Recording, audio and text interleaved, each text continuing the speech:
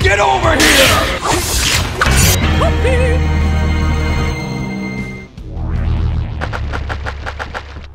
Fatality.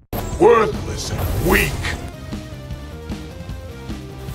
What's up YouTube? Today is Akad and I We'll be looking at the Cybeart's latest lineup of Mortal Kombat chairs. If you've watched our previous review of the gaming chairs, we had the Cybeart, we had the Secret Lab, we had the Noble chairs, and Vertigear slash Alienware. You'll see that Cybeart is actually trying to exceed in the market of the mid-range price gaming chairs. You can buy and own a great chair backed up by a proper 5-year warranty. Here with the Scorpion edition, I don't think you need to add anything else. And every single detail of the embroidery is meticulously done and there is nothing to complain about. Get over here!